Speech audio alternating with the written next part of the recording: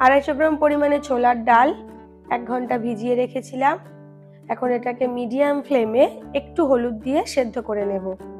কড়া গরম হয়ে গেছে, দিলাম দু চামচ পরিমাণে সর্ষের তেল, একটু গোটা জিরে, একটা তেজপাতা, মাঝখান থেকে চেরা আর একটা শুকনো লঙ্কা। জিরেটাকে একটু ভাজা ভাজা হতে দেব। তারপর নিয়েছি আমি একটা মাঝারি সাইজের আলু, ছোট ছোট টুকরো করে কেটে আলুটা দিয়ে দেব। আর দেব একটুখানি হলুদ আর একটু লবণ। দিয়ে এটাকে একটু ভেজে নেব। নমস্কার, আমি মধুমিতা। আপনারা দেখছেন সুগার অ্যান্ড সল্ট। আজ আমি বানাবো খুবই সহজে, খুবই সাধারণভাবে আলু দিয়ে ছোলার ডাল। আলুগুলো যখন হালকা ভাজা ভাজা হয়ে যাবে, ওই পর্যায়ে দিয়ে দিতে হবে টমেটো। নিয়েছি একটা মাঝারি সাইজের টমেটো কুচি করে। টমেটো দেওয়ার পর একে একে দিয়ে দেব এক চামচ পরিমাণে ধনে বাটা জিরে বাটা আর এক চামচের কম পরিমাণে আদা বাটা।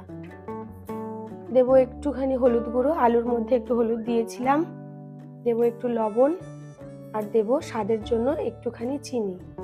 এখন একটু জল দিতে হবে, তো আমি ডাল সেদ্ধ করার জলই দিলাম একটু, দিয়ে মশলাটাকে ভালো করে কষিয়ে নেব। মশলাটা কষানো হয়ে গেলে আমি যে ছোলার ডালটা সেদ্ধ করেছিলাম, ওটা একটা ছাঁকনির মধ্যে দিয়ে জলটা ভালো করে ছেঁকে নিয়েছি।